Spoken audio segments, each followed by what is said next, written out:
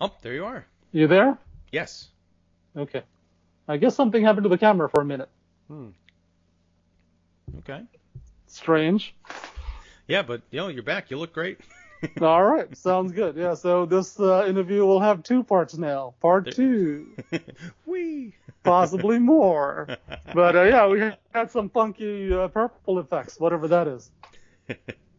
I liked it. You know, purple is one of my favorite colors, so uh, yeah, it was nice, nice little break there.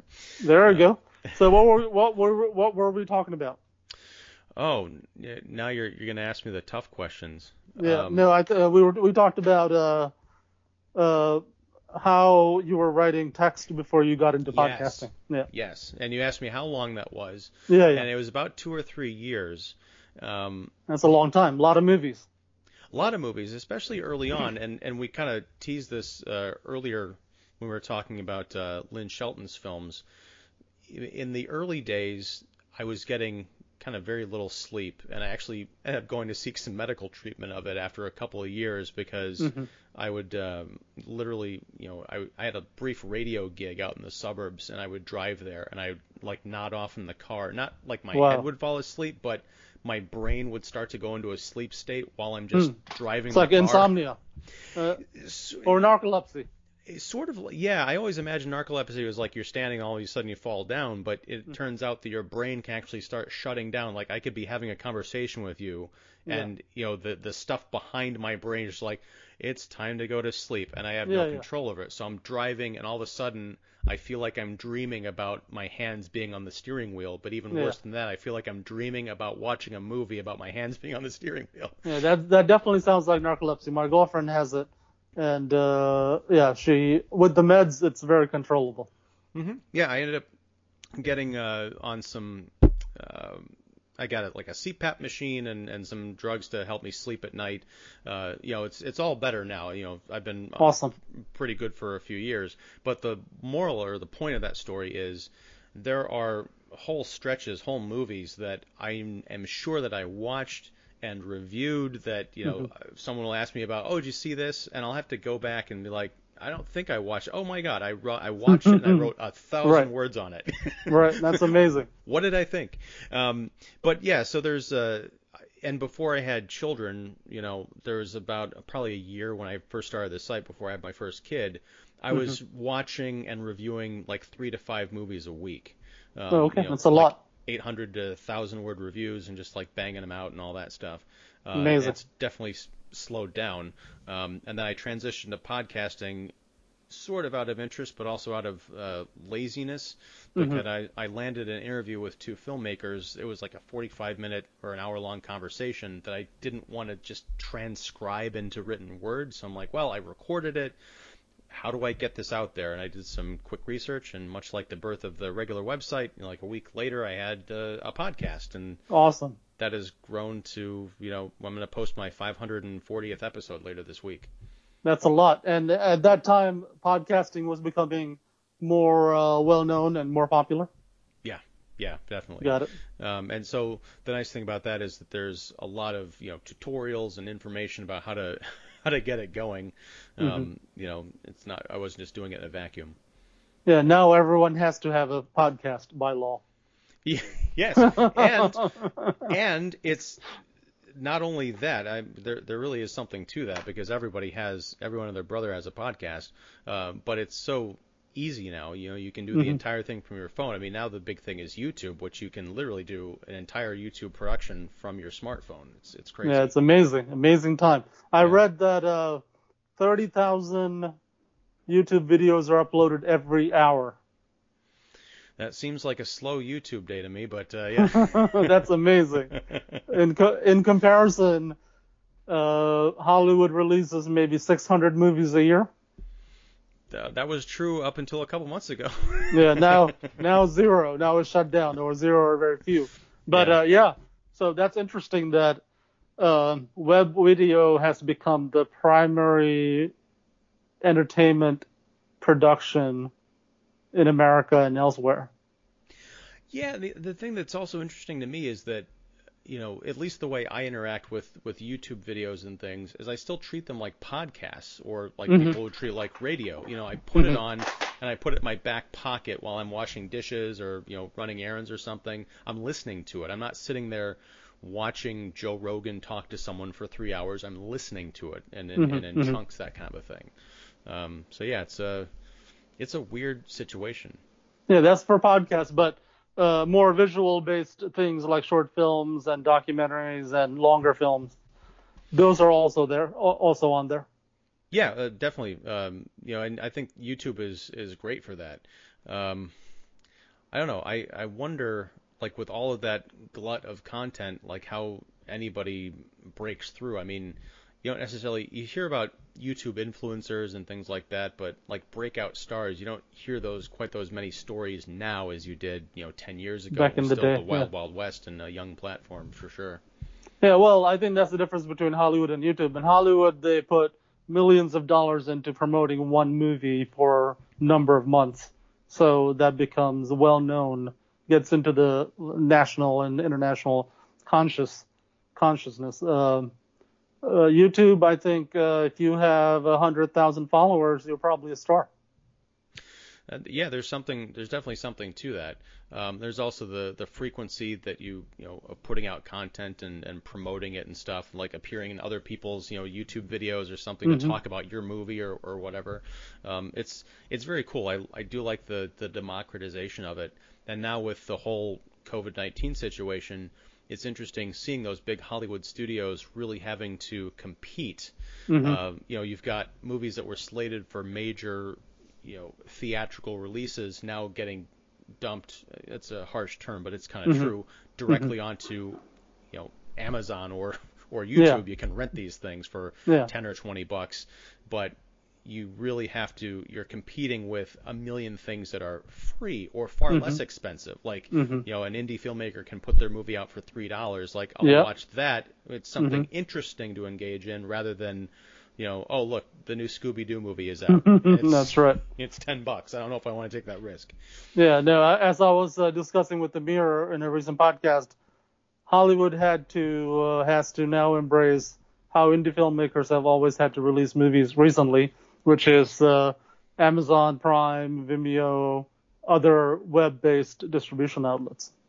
Yeah, uh, they don't have that guaranteed like upfront. You know, we'll take in our hundred million dollars and then eventually Yes. we'll make some more money off the back end. Everything's the back end now. hmm When do you think uh, when do you think theaters will come back, I don't if know. ever? I I think they'll they'll come back in some capacity. I don't know that they'll be as many of them necessarily because as much as there's been talk about, you know, well, is Amazon going to buy AMC or something like that? Yeah, I If- heard about that. If AMC still exists and they have to do something where it's like 25% or 75 or 50% capacity seating, like you can have one person or two people every four seats. Like if you and a date come in, then you Mhm. have to have four seats around you Mhm. you can't that's not a good business model so i don't know Yeah. how long that's going to survive i imagine there'll be like a boutique theater situation um, you know maybe it'll be like a night at the opera or something where it's like $50 to see a Mhm. three hour movie um, I, I don't know I, I hope that it doesn't go away but realistically depending on how this whole virus thing shakes out and more important the social attitudes towards large gatherings because outside of movies you got concerts and Yeah. casinos and sporting Mhm. events and all this other stuff that has to be reworked. So I just don't know. I would like things to get back to some semblance of what they were before, but I do also like the the idea that this has forced us to stop and think about does this make sense? Is there a way that, you know, can can we do can we do things differently? hmm I think uh, once we have a vaccine, maybe in two years, movie theaters will come back to normal. I just can't imagine going into a movie theater, even with spaced out seating, hanging out in there for two hours while someone else might be breathing into air, into the air, the COVID-19, right? So Well, I think I- two years. Uh, it's not going to be two years because if you look at the situation right now, where you've got some states that have reopened, you know, Mhm. Wisconsin just you know opened up uh, their bars and restaurants and they're packed. There's Mhm. places that have beaches that are they're overflowing. Um, I mean, yeah, you're going to see the you know resurgence possibly in, in numbers and things, but I think there's just an attitude that people are like, we've done this for two months. If you guys want to stay inside, that's Yeah. cool. We're going to go out and do our thing. Mhm. And there are going to be businesses that are going to accommodate that. So Mhm. it might even be a regional thing, like you Mhm. know in Tennessee or something, or or South Dakota where they never really shut down. They might have, yeah, we'll still have our AMC or our Regal or something. All cinemas will still be packed. It's just you won't be able to go to the movies in New York. So going Yeah, to see yeah, a I'll- movie, a theatrical experience will involve a road trip. or That's something. right. Or I'll I, I I'll wait until we have a vaccine. I don't I don't want to hang out inside a movie theater for two hours. Well, I'll- until I'll, ahead. I'll, t- I'll text you back and let you know how it goes. yeah yeah. well, I mean, let's see what happens. No one knows. But I mean, uh, watching uh, movies from home is fine. Uh, if if if I have to risk uh, my health, I can I can wait. I've seen enough movies in movie theaters. Yeah, I, I haven't. I mean, I think there's still uh, like I'm I'm anxious for the music box to open up because there's something about you like the independent, you know, classic movie palace kind of an experience. I- Again, it's just gonna be weird. I don't know. I know they will survive somehow because they're an institution that's survived, you know, wars and things like that, and depressions right. and economic downturns. I just don't know what it's gonna be like.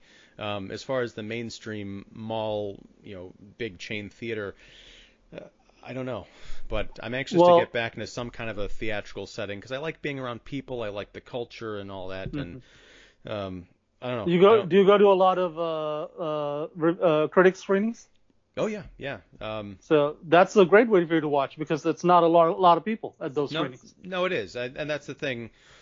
Critic screenings are two kinds. There's the Mm-hmm. really intimate ones that like the Lake Street screening room, where it's only film critics, and sometimes Yeah. you have 13 people, sometimes you have 50. That's what I was talking about. Right, but most critic screenings are what I call the contest winner screenings, where you've got, you know, they're showing the movie a few days before release.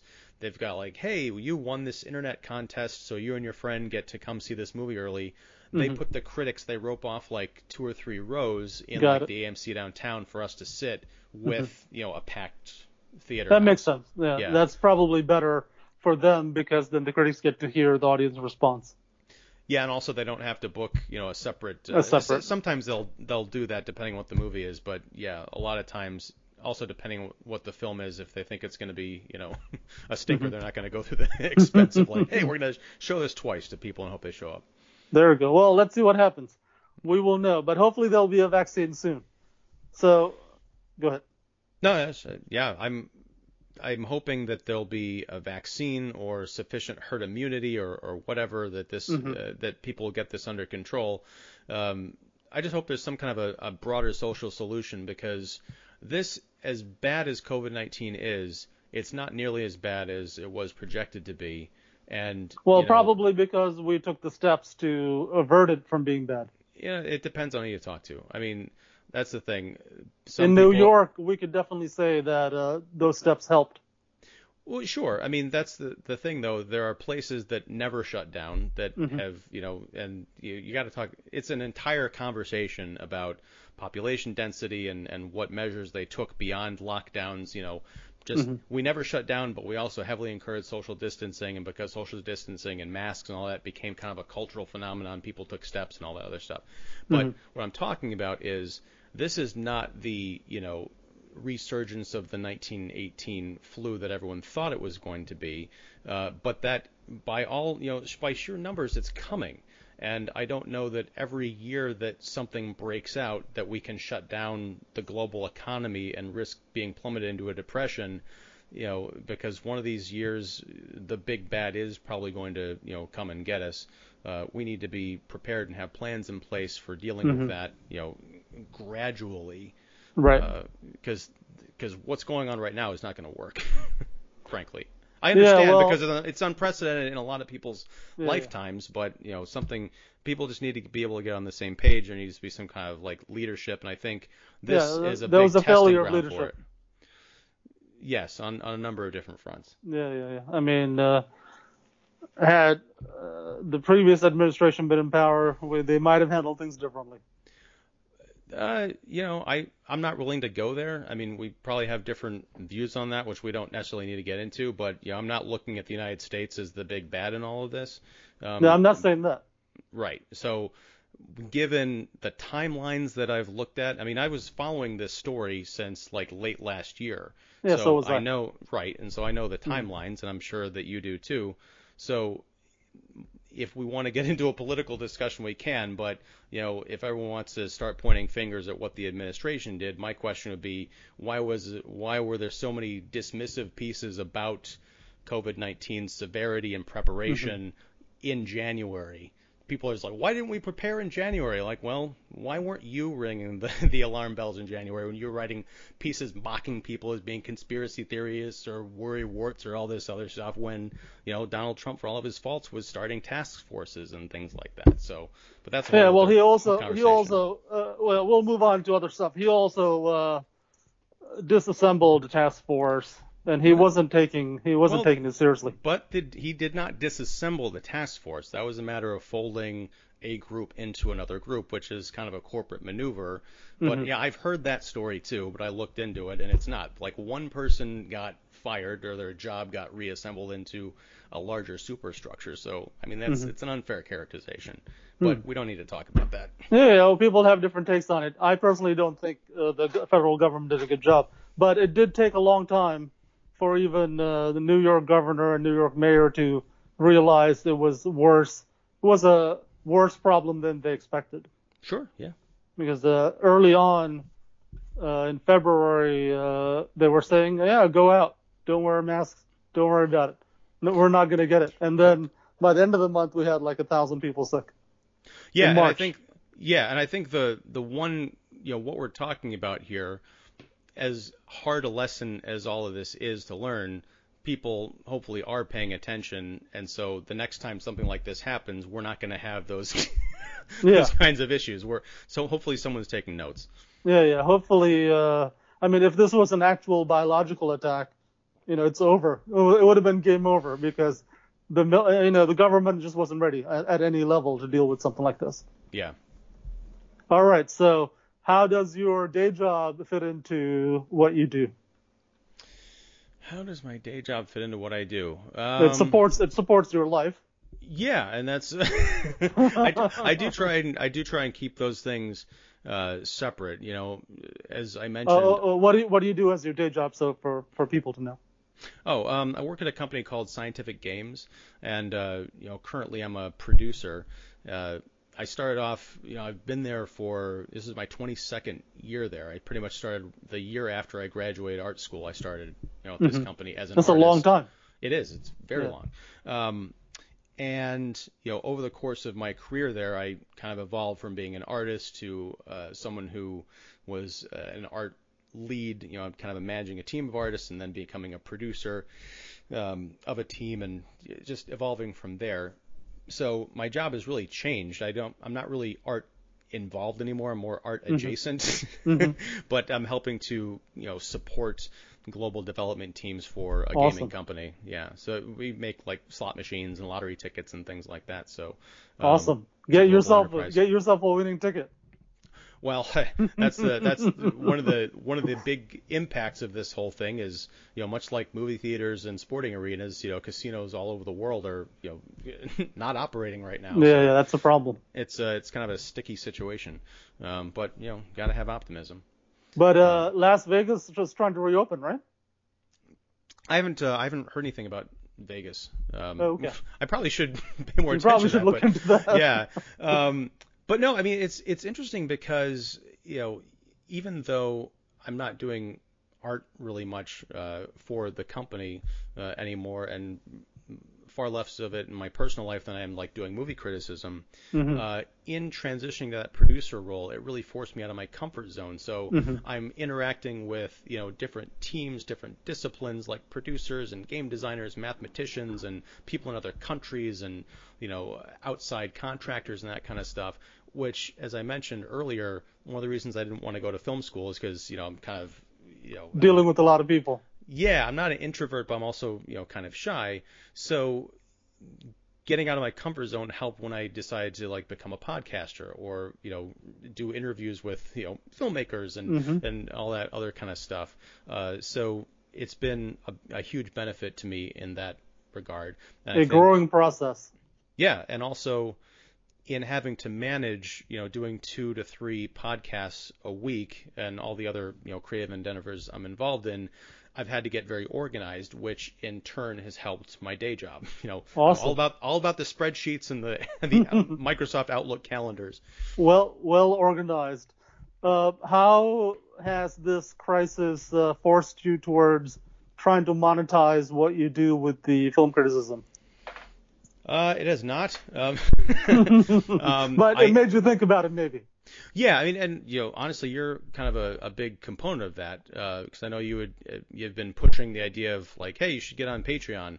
Mm-hmm. Um, you know, I actually set up a Patreon account last week. I haven't Awesome. done anything with it because I'm also, in addition to producing shows, I'm overhauling the website, which I've been trying to do for a couple of months. And one of the nice things about, well, the only nice thing about being furloughed right now is I've got more time to devote to those kind of creative things um, Awesome. instead of doing the working from home deal. Um, but as far as monetizing, I don't know. I Mhm. I've always put that to the back of my head because, as you mentioned, I've got something, a day job to support these endeavors, so I've never really needed it. But now I'm thinking, well, everything on the landscape is uncertain now, so Yeah. what what would monetization even look like? Uh, for as long as I've been doing this, uh, you know, the sad reality uh, for me is that I'm still, you know, I, I don't, I, I have a very small but dedicated uh, group of listeners and, and viewers, is how I'll put it. Um, plus, there's all this competition and everything, so I wonder, like, hey, if I'm gonna charge like five bucks a month, or if you want to donate to me, I can imagine people, well, who the hell are you? so I, Well, I know. mean, that's uh, yeah, that's a entirely uh, that's an entire podcast on that subject. But I have seen lots of small creators uh, putting, getting donations, getting uh, Patreons going, selling merchandise, doing crowdfunding, and uh, even if you get make a few hundred a, a month uh, in the course of a year, that'll add up. I would love to make a few hundred a month doing that. There you go. Well, if I find some useful articles, I'll send them your way. How to get started with monetizing uh, maybe a film uh, blog or a film review show. Yeah, and you know, I know other people who have done it. There are certain like podcasting services that hook you up with sponsors and things, and Mm-hmm. I've kind of dabbled about with that. But a lot of that has come down to I'll look into something, and it could be a technical thing, like Yeah. you know, post your RSS feed or something. I go look for that, and it's the wrong thing, and I'm spent an hour doing something. Okay, I have to put this aside and go do like 50 other things, and never That's get back right. to it. Yeah, Yeah. well, maybe maybe during this downtime period, uh, that's something for you to look into. That I'm might be hopeful. interest. That might be interesting. Yeah. Um, so tell us about you're an official Chicago film critic, member of the Film Critics Association or Society. Uh, Chicago Film Critics Association, There Yep. you go. And CFCA. Uh, CFCA, and uh, that's a few uh, a small number of people. Uh, tell tell us about the struggle of getting into that association. Uh, the struggle is mostly psychological. Um, That's Uh, that is still a struggle. yes. And, Um, and and as they say in Islam, the inner war is also important. I like that. Yeah, Um, yeah. You know about the the jihad inner and outer idea in, in Islam, right? No, I've only heard about jihad and The you know, outer. Just, yeah. Okay. Yeah, so, yeah. From the beginning, they taught in Islam. I mean, I'm not an expert on Islam, but this is just what I've read. That uh, you know, warring against your enemies is good for the when necessary for the sake of the religion, blah blah blah. But the bigger struggle is the struggle inside, the internal jihad, which is uh, you know uh, getting yourself under control according to their guidelines, connecting properly with God, et cetera, et cetera. So the but the point is the inner struggle is also a struggle. No, that, that's beautiful. And I was mentioning it kind of as a joke because, you know, actually getting into the CFCA, and I don't think I'm telling any tales out of school, was a lot easier than I thought it was. And Awesome. I, and, I, and that's not to say, you know, hey, the doors are wide open, anyone can just stroll right in. I, that's I think it was uh, a combination of, of, of luck and, and, and talent or whatever they saw in me um, to join the organization. But um, you know, it was I, I became a member in 2013 and I think it was in 2011 I'd applied for the Online Film Critics Society, and Mm-hmm. I got rejected. And so I applied in 2012, and I got rejected. And I applied in 2013. Guess what? I got rejected. So Did they give you a reason? um, yeah, it was, uh, and I'm going to be very careful here because I know there are even some of my colleagues uh, are members of the Online Film Critics Association, so I don't mean to, to trash anybody. Um, and uh, it's not even a matter of trashing. I got some feedback about what the not the reasons, but just some of the notes that the people who reviewed my stuff, you know, the the one that sticks out is blog level writing at best was how they it, it put it. And you know, it. looking, looking back on some of my old reviews, that's not an unfair criticism. Um, That they- you should make a T-shirt. That's a T-shirt. That's a product item. Product item you with uh, you know, kicking the seat podcast in quotes, blog level writing at best, uh, from uh, from rejection letter to from uh, online film critic society or whatever. I like that. If if not, I'll, if nothing else, I'll put on a business card. There But you um, go. no, so And what does that even what does that even mean? Blog A bus- level writing at best. I don't know. Uh, but again, this was also during the period that I was half awake, um, Right. so I can understand. But no, in 2013, if I'm getting my timeline right, they they had this thing where if you applied for you know a certain number of years in a row, you had to actually wait a year before reapplying again. Wow. Um, and so that was my year. I'm like, well, shit, I don't. what am I even doing? And Um, why, why was it important for you to get into that? Try to get into that organization.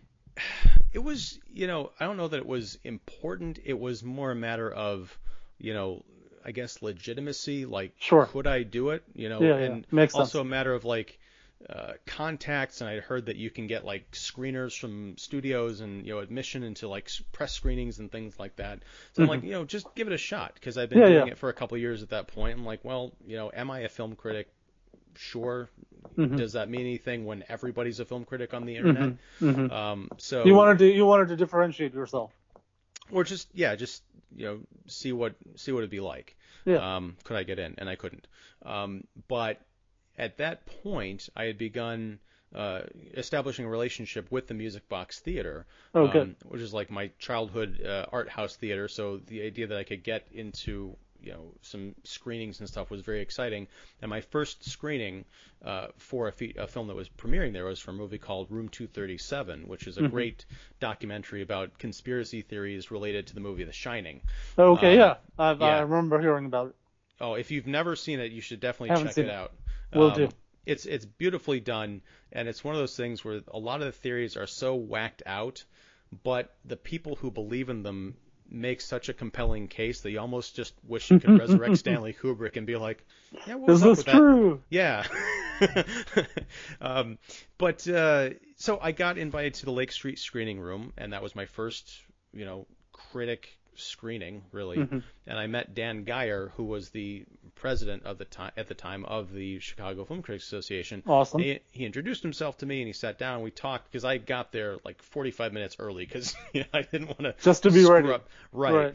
Um, and so he came and talked to me. And I think it was because I was the one person in the room he didn't recognize. Like, who is this kid? Um, but it was, you know, a, a great conversation. And he asked me about, you know, who, who I wrote for, and I told him, and he said, well, you know, I think, you know, it'd be cool if you applied, you know, for the CFCA. And I, at that point, I think the rejection from OFCS had been fresh in my mind. I'm like, okay, uh, Chicago Film Critics Association talking like you know Roger Ebert was a member and Richard Roeper's on there and like everybody who's big in Chicago, yeah, right.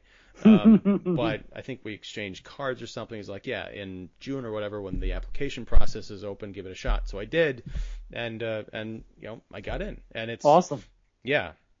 And so I've been a member ever since, and I, you know, make it a point to just, I'm constantly trying to put in the work Mm-hmm. because the CFCA is a great organization. We have, you know, a couple other uh, critic bodies, you know, in Chicago now, and they're all great folks. But one of the things I try and consider is that trepidation that I had of like, well, I'm not a professional in terms of getting paid by a big outlet or anything. Mm-hmm. I'm just a guy who's you know podcasting or writing, trying to get my opinions out there and learn as much about film as I can. Mm-hmm. I never want to rest on my laurels and be like, well, I'm in the association now. I guess I you know I, I can I write can relax. review every every couple of weeks and you know who cares. No, Yeah, yeah. it's it's a matter of, of pride and also not wanting to let down the colleagues that are busting Mm-hmm. their asses every day and really you know are the cream of the crop Mm-hmm. as far as I'm concerned. Yeah, you want to you want to earn the membership. In Yes. 2008, I did a documentary about bloggers,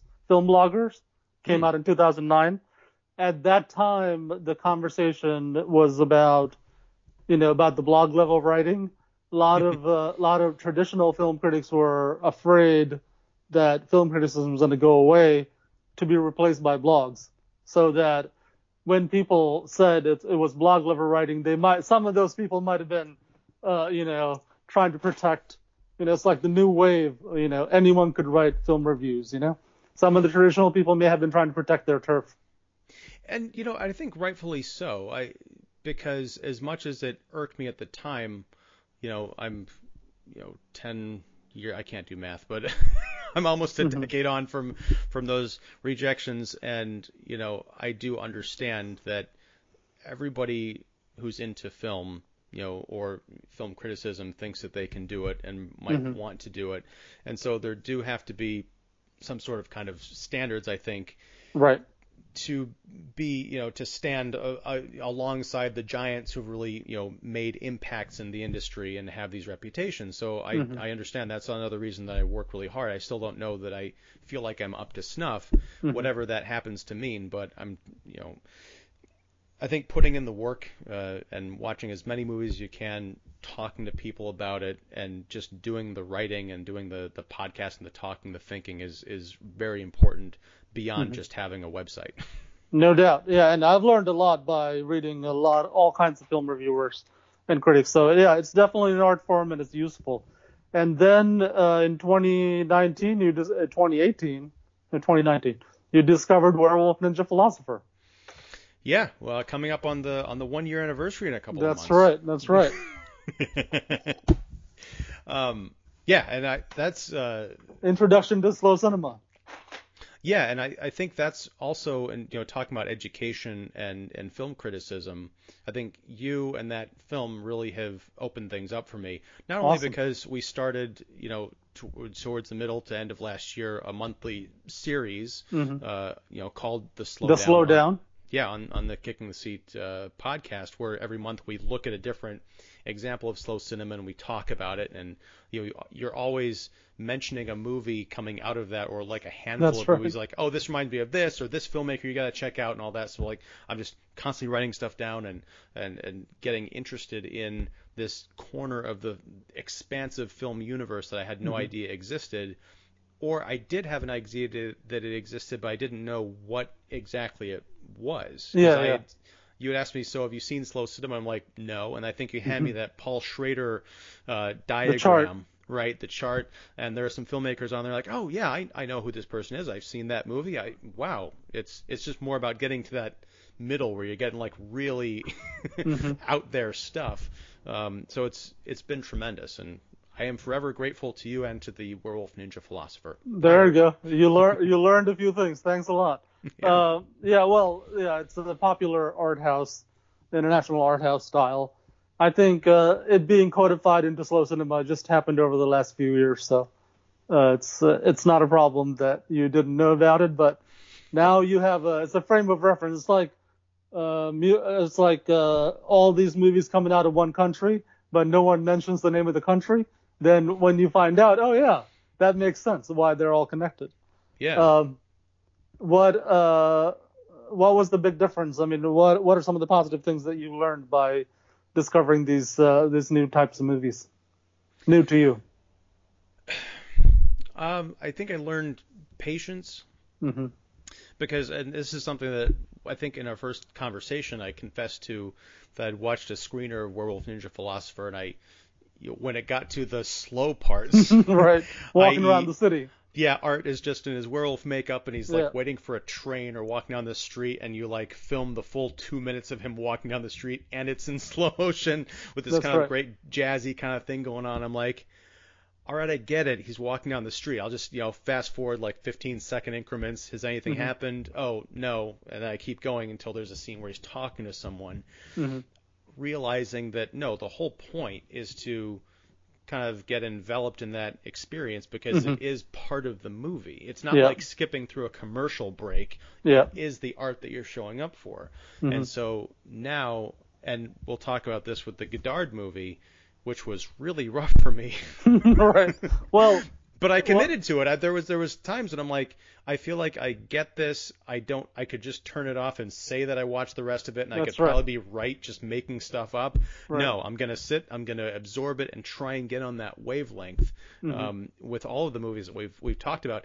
And the thing is, it reminds me of the first time I read Irvine Welsh's Trainspotting back in 1996 because I saw Danny Boyle's film. I became obsessed with it. I found out there was a book.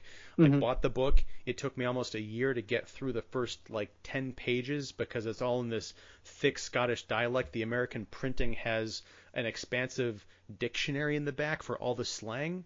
Mm-hmm. But once I got on that wavelength that I tore through the book, everything else seemed really boring to me. I would read like American fiction, you know, I'm like, where's the beauty of the language? That's right. Now watching slow cinema, I really hook into the stuff that is not that Marvel 75,000 cuts and special effects, you know, Mm-hmm. movies that really take their time and are really about something.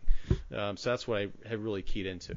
Awesome. Yeah. Um, I think what most people think of as movies are really uh, almost like filmed plays where, uh, you know, something uh, narrative has to happen all the time, and we're used to it from from watching TV. And uh, but as being a visual art form, you could have, as you saw in many slow cinema movies, the uh, you know getting into a world and being with a character and hanging out in that world is itself a, a kind of entertainment. Yeah, very much so. And and don't get me wrong, I'm still more a fan of the traditional narrative uh, of movies having stories with the Mm-hmm. Yeah. A, a B, and a C. I'm all for ambigu- ambiguity and stuff, um, but uh, I've gotten a lot more patient, I think, because of you know my experience with slow cinema for movies that aren't you know they don't wear their plots on their sleeves. Yeah, yeah. Like you loved uh, Mystery Train, which is a slow movie. Oh yeah, and, and, and Uncle Boonmee and Uncle you know, Boonmee, it's oh, awesome. man, Yeah. All right, so let's. I'm glad you discovered that genre, and I'm glad you like Werewolf Ninja Philosopher. Let's go into uh, Godard's uh, Goodbye to Language. What did you think after you saw it, or while you were watching it? Have you ever seen any Godard movies before? No. And, okay, well um, that that's that, that that's the part of the problem. You know, and it's it's funny because there are uh, two filmmakers that I've had this experience with before, and so I'm reluctant to talk about Goodbye to Language. yeah, he's made 44 features. Yeah, I, and I know I know Godard's a legend, and Yeah. you know is a contemporary of Truffaut and all that other stuff. Um, so I d- and I don't having no context for it. I feel trepidatious stepping into this Mm-hmm. Sure. conversation. Just talk about your experience. Um, about halfway through, and the movie's only 70 minutes long. Right. Um, halfway through it, um, I sighed heavily. I pressed pause.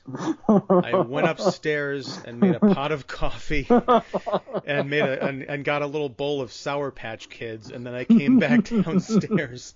At least, at least I didn't get a call from your wife saying, in the middle of the movie, Ian committed suicide.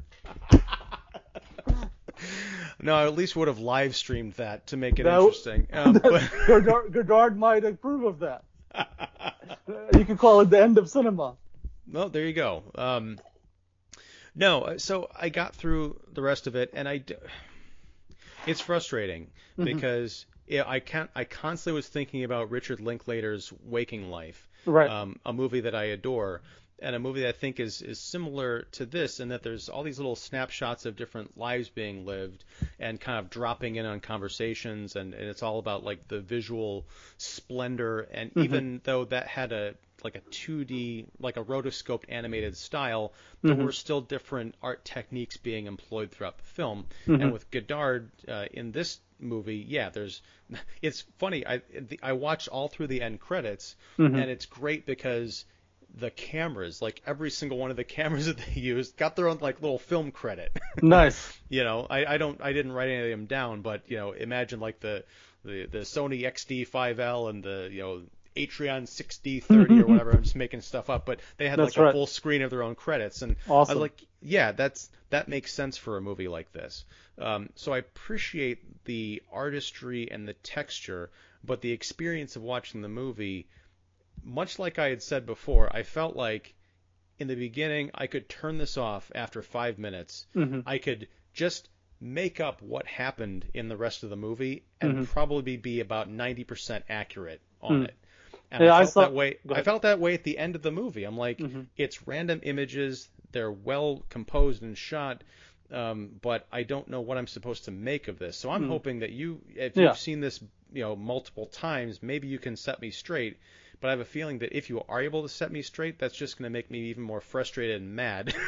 Well, I think yeah, I, I've seen uh, yeah, it's I mean any any reaction to Godard is valid because he's he makes his own he's almost like his own genre, right? No one makes Godard movies, and he himself has gone through multiple stages.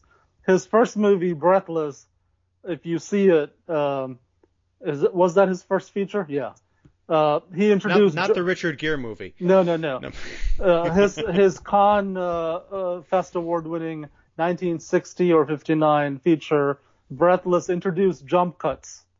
He was the he was the one who invented it and used it in a in a major motion picture. And uh, it's a detective story with jump cuts, and people were shocked by it at the time. So, and he's done things like that throughout his career. He would experiment with the form. He would change things up. And uh, in the 70s, he got into very heavily political uh, uh, movies. You know, uh, he went to sort of he was into Marxism and all that. Then in the 80s, he came back to regular narrative filmmaking uh, with the movie called uh, Every Man for Himself. Anyway, look that up, and he made a detective movie called Detective. Um, so he he deals a lot with the form, with the messing messing around with the form, and he's really into philosophy. He's really into French history, European history, American history. Uh, so Goodbye to Language was actually a 3D movie, which is not available for us to watch because we don't have 3D gear. But uh, but when it came out, it came out as a 3D movie, and uh, one of the first 3D movies to just deal with, uh, you know, not a spectacle, just regular people and film essay type and a dog. And um, it, it got really well reviewed. It won uh, in 2014. It won like the National uh, Society of Film Critics, whatever the large uh, body is. Uh, it was Yeah. voted. It was voted as the best film over Richard Linklater's movie about uh, that was shot over a number of years. Uh, Boyhood, yeah. Yeah, yeah. Those two were competing for the top prize. You know, and maybe we can touch on this, but and I know it took home the the jury prize at Cannes that year. Yeah, yeah. He Um, makes film essays. Essentially, his movies are. Uh, I mean, uh, but in in Goodbye to Language, there are uh, like four different stories. But beyond that, these days, over the last ten years or so, he makes film essays. I, you know, that may be true, but I mean, from my kind of pedestrian standpoint, essays are, you know, on some level designed to make sense and convey things that I, I feel like this movie. I want to talk about the critical reaction to it and the awards and stuff because I did look up some of that. Like, I was just curious, what's the the Rotten Tomatoes score, the Metacritic score on this? And it's very high. It's like 88%. Like, people love this movie. Oh, okay. And- And, before you go into that, I can explain the actual narratives that I saw.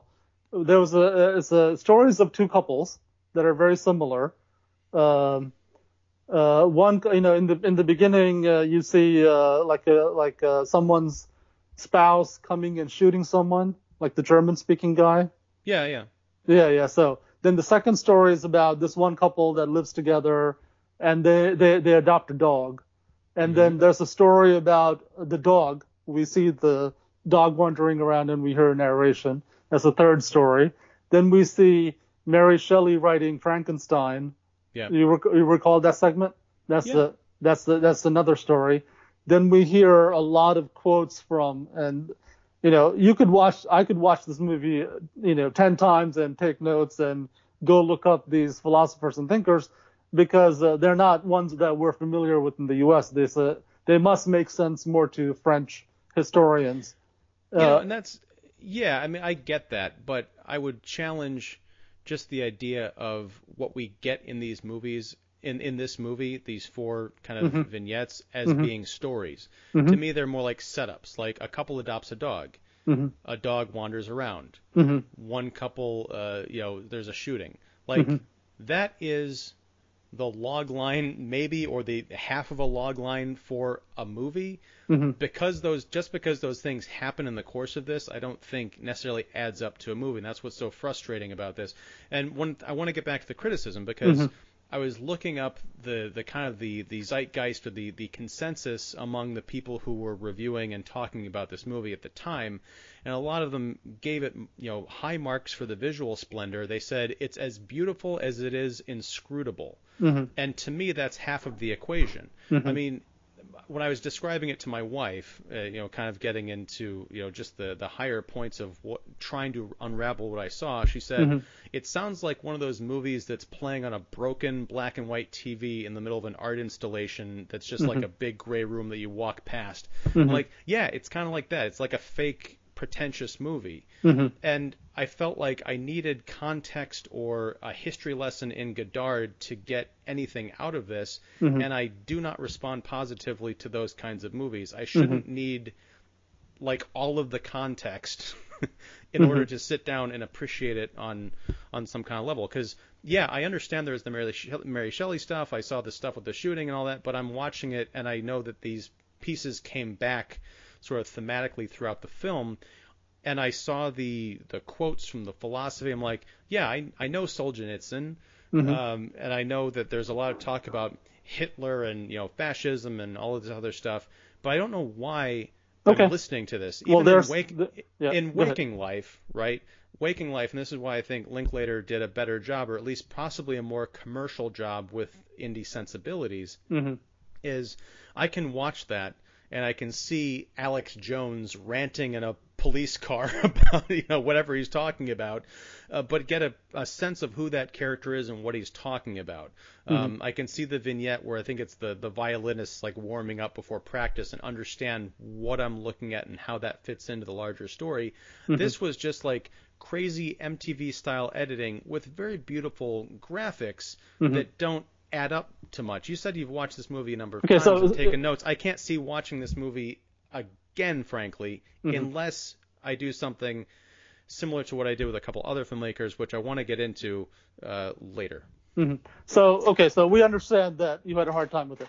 So the uh, the title is Goodbye to Language. So one of the preoccupations with uh, in that movie in this in this film essay that Godard made is, uh, and this is one of the things that many French apparently French philosophy is occupied with in the past, which is uh, how language makes life difficult for humans, how it separates people from each other, and how it separates humans from the uh, uh, from existence in, in the world.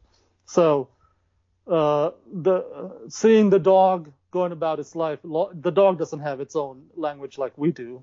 So uh, that's maybe Godard is saying that's uh, that's a way of living that is uh, closer to nature, and that's something maybe that's good. Uh, Well- Well, and and I got I did get that because Yeah. there was I, I don't know if I wrote it down because I wrote down some of the actual dialogue passages from there, but I do understand what you're saying, what Godard was saying about that language barrier. problem, yeah. But that's the thing is, personally, I don't I don't agree with that, and I don't see language as a problem that separates people. Mhm, So I see it. if I'm watching a movie that has that as its premise, Mm-hmm. not even if I agreed with it, I want to see more. Like I could just if I could make a movie in which the theme is I just keep popping in and saying life is meaningless, people are stupid, Mm-hmm. you know, everything is dumb. That's not a thesis and it's not interesting. Like Mm-hmm. all it is is like, you know, it's it's something I might scribble in the back of my high school notebook. Mm-hmm. But, you know, if you get varying perspectives or at least explain to an audience member who might not agree with you Mhm. why you understand the world that way. Mhm. You know, I, I felt like I spent 70 minutes watching someone ramble without actually getting to the point of whatever they're trying to say. And Mhm. worse than that, I'm not interested in what they have to say because I feel like it's limited. Yeah, it's a it's a difficult movie and it requires. Yeah, I mean it's uh, I mean there's no one way films have to be. I mean if some people don't get it, that's fine. If some people hate it, that's fine. So Sure, and, and I understand that, but and this is this is a problem I had with two other filmmakers, uh, Yeah. Dario Argento and Terrence Malick. Mhm. Um, I watched their later films. My first Dario Argento movie was uh, was Dracula 3D, mhm. um, and my haven't first Terrence. Uh, hmm. um, and my my first Terrence Malick movie was I think I saw two of them. And they're both his later, you know, within the last five years, he was making really weird out there stuff. Hmm. But I didn't see Badlands. That was like my third or fourth Mm-hmm. Badlands was really good, Malick. yeah. And I finally, when I watched Badlands, I'm like, okay, now I understand why people give a shit about Terrence Malick. Mm-hmm. When I watched, you know, I went through, I've been going through a, a two or three year project watching Dario Argento movies, you know, from the beginning of his career, not the very end, Mm-hmm. to I finally get Dario Argento. And so I'm going to come back to Dracula 3D and see, you know, is it just trash or was there something in there that I just wasn't getting into because I didn't understand the Argento language? Mhm. With Godard, he's a legendary filmmaker, is very influ- influential and important, Mm. but I don't get that from watching this movie. Mm-hmm. And so my fear is with a lot of these influential filmmakers later in their career when they're just, you know, I'm, I'll just say it, fucking around. Mm-hmm. Younger people, like film students, are like, mm-hmm. okay, we're gonna watch Godard, and then you show That's them not this that's movie. not what's going on. That's not what's going on. Well, Because- but no, I'm, I'm. But what I'm saying is, it's kind of like Stan Lee said. Everybody's every comic book is somebody's first comic book. So if you're going to show someone this film, you have to assume that there's going to be someone who wanders in off the street and watches this movie and says, "Oh, this is that Godard guy everyone talks about. Cool. Yeah. This movie might." per- dissuade me from True. watching anything that he's ever done. anything yeah, else. no, but we're not trying to sell something, and it's not a popularity contest. As a film it's, critic, it's, it's it's not even about that necessarily. It's just, and I'm not trying to fault Godard. I'm just saying, as someone who's watched him uh, or, or watched a piece of his work, and Yeah. even one that's highly regarded, if everyone, if the consensus is that he's an important legendary filmmaker that critics love, Mm-hmm. if this is an example of something that critics love, Mhm. that you know that he did, Mhm. I don't. I, I'm very trepidatious to go back and say, well, if everyone loves this, Mhm.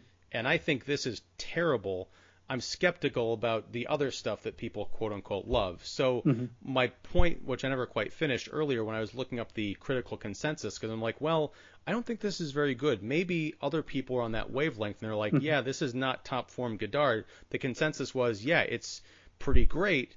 I wonder, do they really feel that way, or is it because it's Godard as a brand? You said he's not selling anything, but he kind of doesn't have to. Mm-hmm. You know, at a certain point, it is the name. You're going to see the new Godard. Mhm. yeah, he's an artist. have- right. Yeah. But, you know, is it possible for him to make something that is not very good that people will think is really good because it's the guy? And Mm-hmm. if that's the case, then how do you know if he's actually made something that is not worthy of the Godard name? Well, you have to go with how you feel about it. You have to take a look at it and, and take a look at it and see if you understand it. And uh, if you personally haven't seen, without having seen any other Godard movies, don't like this movie, that's a completely valid reaction because it's a, it can be a confusing movie. There's a lot happening in it, and like I said, this is a movie that if I had nothing else to do and I was, you know, vacationing somewhere, I would watch this and take notes and look up what he was talking about because there's a lot of thinkers that are being quoted that I and I'm not very familiar with. So, as a in, as an introduction to those people, I mean, there's some interesting quotes in there. I would I would look it up. But uh, for me, what I got from the movie was that uh, it was an interesting experience that uh, you know about two couples and a dog, and uh, and visually even 2D as like a visual essay, I thought it was interesting. The like the like the really blurred, rich, the the, the blue imagery. Do you recall when they're driving? Sure. I mean, but, I, I, I, but that's the thing. I didn't see anything in this movie that I haven't seen in other movies. Okay, got it. Right. There's there's nothing. I mean, and we're talking about 2014, so uh, it's hard for me to recall if what I saw was in that interim period or if it was before. Maybe the people and films I'm thinking of were influenced by this. I can't tell. Mm-hmm. But as lovely as the images were, there was nothing that really grabbed me, except to say that this movie made nudity boring, Mm-hmm. which I didn't think was possible. I mean, at, I've at a seen certain that point, before. I'm like, I'm like, please, before. please put your clothes back on. Have you have you watched many film essays? no, and you keep using this term film essay. I don't It's know exactly a what, what what you mean in that context. When I think film essay, I mean, I, I feel like uh, I'm th- uh, thinking of uh, movies like essays that use the language of film to make a point. No. But okay, Uh, ed- Phil- educate me. Yeah, film essays are a genre of movies. They became very popular over the last ten years. Uh, yeah, uh, I've, I've heard of them. I just don't know that I've. uh, And Yeah, yeah. again, like with Yeah, slow yeah. cinema, maybe I have seen them before. I just didn't know what I was looking at. So what what is a film essay? Yeah, so uh, in a film essay, unlike the Godard movie, which is very confusing, uh, like someone would do a film essay, which is a video essentially, uh, on let's say Terrence Malick, right? They would go into, they would show clips uh, of Malick movies. They would talk about the underlying themes, how they connect together. It's basically one uh, use of film essays is to introduce someone to a new artist. So Yeah. in your in your case, if you Google film essay Godard, someone probably made a film essay about why Godard does what he what he does, what it means, and why it might be relevant. So, Okay, so I, I have seen film essays before. yes. Um, yes. So this so this That's is what I thought. So how is this a film essay? What is what is it saying? So it's it's Godard's uh, film essay on uh, the relationship between uh, on multiple things. The relationship between language and humans, language and history, because he apparently either Europe or he, he himself or maybe the entire world, in his view, was heavily affected by the World War II experience, the Nazis. So he keeps going back to that. So this is and this is unlike the other film essays which are more like documentaries where they clearly want you to understand what's going on this is more of a creative film essay of let's say like in experimental films where it's just shapes like um shapes and colors so there's there's an uh, like uh, like um, yeah just google experimental films non-narrative experimental films so there's a whole school of that. Uh, of uh, I, there's one filmmaker that I'm trying to think of now, but I, uh, his name is not popping up. So I see uh, Goodbye to Language as Godard uh, focusing on one theme, the relationship between language and humans, but looking at it from multiple different perspectives. From the perspective of a dog, from this, uh, from the perspective of two, you know, two couples that are who are kind of similar, from the historical perspective. Um, eh, but what I what I think I'll do is I'll get more into it and I'll write a sort of a guide to you know this movie, maybe a little one. Maybe I'll do a separate podcast on it. But there, yeah. So so the brief answer is this is Godard's very creative film essay on uh, humans and language. That's that. Well, I could leave it at that. I understand that that's what you think this is, and I understand Mhm. that that might be what he intended it, and maybe what other people consider it to be. Mhm. But you know, what again, when I think of an essay, I think of, as you mentioned with the video essay, Mhm. um, tackling a subject and explaining to the people watching, you know, a point of view. Mhm. I don't think that's what this is. I think there are ideas and like, well, I would say like slivers of ideas Mhm. because saying, yeah, the world was messed up because of World War II, no shit. I mean, that's not Mhm. an essay. That's, you know, that's a brief, pithy statement of fact. Mhm. Why are we talking about Hitler in 2014? Um, you, you can almost make a, a better case to be talking about in 2016 or 2020. Mhm. Um, but just saying, yeah, I'm French and the Nazis, and look, there's someone shooting people in the, you know, in the town square, whatever, but there's no context for it. Mhm. That's a bunch of like kind of ideas, uh, vignettes, images in search of a reason to be put on film. Mhm. So I can't really agree.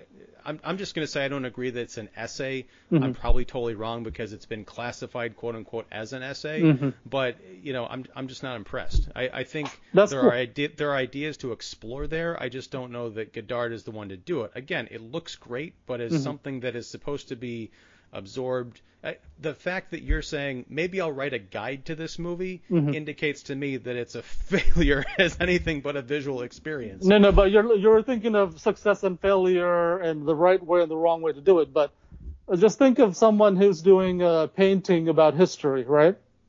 Uh, let's say, I mean, uh, it, it's not it's not really a history lesson. It's more of a impressionistic take on actual events. It depends. I mean, it, because you know, as a trained you know, artist who studied Mm-hmm. art history and techniques, I agree with what you're saying. Mm-hmm. However, if, as in you know, like the kind of the modern art movement, you could say here are two parallel lines on a canvas, Mm-hmm. and it's meant to represent Napoleon's inner struggle as he you know was watching the walls crumble around him at Waterloo. You know, Mm-hmm. it's that kind of pretentious stuff where more thought went into the artist's statement about the piece than Mm-hmm. the actual work, and that's something that we've kind of touched on this in, in our previous conversation, Mm-hmm. which is probably an, an entire series of chats about art and you know successful and and, Mm-hmm. and non-successful art from different points of view. We don't need to get into here, but yeah, I, I see what you're saying. I just don't happen to agree. Cool. Yeah, yeah. It's uh, not everything is for everyone, but uh, now you can say at least you've seen one Godard movie. And I'm anxious, eh, despite what I've said, and it's because of the Malick and Argento experiences. Mm-hmm. I do want to go back and watch earlier Godard to find just to get on that wavelength. Maybe see stuff that is a bit more, uh, to use the word traditional, or something Mm-hmm. I can hook into a bit easier, and then maybe come back to this and be like, oh yeah, I totally, yeah, this is this makes this makes complete sense. I don't know what I was thinking. within the context of Godard, yeah. yes, Yeah. yeah, Because uh yeah, if you uh yeah, I mean check out uh Breathless, check out uh uh, every uh yeah, yeah, I mean you could you could look it up. I mean the earlier stuff is I think uh, oh Contempt is another one that people quote from the early days. Weekend. I think like the first 10 years he made movies that were he was kind of forced to make by producers because they were funding it. He was kind of forced to make movies that resemble regular movies that could be sold in theaters. So you might be able to get into those, or Well, it not. Sounds almost or like not. like it sounds almost like the Malick trajectory, Mm-hmm. you know, where the last few years he's been getting like really kind of experimental and and out there, even though he's using big name like mainstream studio movie stars, which I Mm-hmm. think is part of the commentary if he's trying to make one, of you know, that kind of a thing. So I don't know, but Did yeah, you see, did you see the most recent Malick movie where it was a World War II story? no, I didn't. I think Yeah. I have a, I think I had a screener for it, but I, I didn't watch it. Yeah, that's supposed to be really good. It's about uh someone who resisted the Nazis in Germany and was killed for it. Is that the one that came out last year, or is there was there another Yeah, one? it Okay, came yeah. out Uh, 2019. Yeah. Yeah. Mhm. I've heard good things about it. Uh, So, and, and it's not supposed to be experimental. I mean, it's the storytelling method is more formal. Yeah. I mean, more regular. So, there you go. You've seen the Godard movie. So, what do you have coming up on your shows, on your podcast? Uh, well, I'm talking about the I mentioned it before the new Scooby Doo movie. Mm-hmm. Um, I'm actually going to be talking about the movie Better Off Dead, uh, which is because my my wedding anniversary is coming up on Friday, Mm-hmm. and it's the movie that my wife and I we kind of bonded over, and we actually themed our wedding after. It's a Awesome. 1985 John Cusack kind of absurd comedy, uh, Mm-hmm. so it'll be good to to revisit that and talk about it with my millennial correspondent Cole, who Nice. um, one of our series is each month we talk about a movie that he's never seen because he grew up reading books instead of watching movies. So Mm-hmm. a lot of the fundamentals he's he's catching up on. So that's a lot of fun. So I'm anxious for him to see that movie and see if he ever talks to me again. Awesome. And then we have something coming up in June. And, uh, Uh, which I still have to. I I owe you a, a schedule because we've got a few shows to talk about in the next couple Sure. of months. And with your busy podcasting schedule, I think we're we're talking about uh, Dune in June. Is that right? June, uh, either that or maybe Breakthrough Weekend. I don't know. That doesn't rhyme. Um, Okay. uh, no, we were. Uh, yeah, you sent me a list, and I, I thought it was a good idea. Yeah, whatever we have, we'll figure it out. Yeah, Dune is interesting. That's an interesting uh, David Lynch movie. Um, Yeah. I'm Awesome. excited. All right. Hope you had a good time. I had a great time. I, I hope I, I wasn't uh, annoying or embarrassing. No, no, no. You're fine. I mean, it's uh, yeah. Godard moves are very difficult. I mean, uh, yeah. I mean, uh, people, someone not liking or thinking Godard is pretentious. That's the norm. I think that's the, I think that's the that's the response he elicits from most people. Uh, I was talking to my girlfriend Amanda about the title "Goodbye to Language." She's like, uh, it should be called "Hello to Pretentiousness."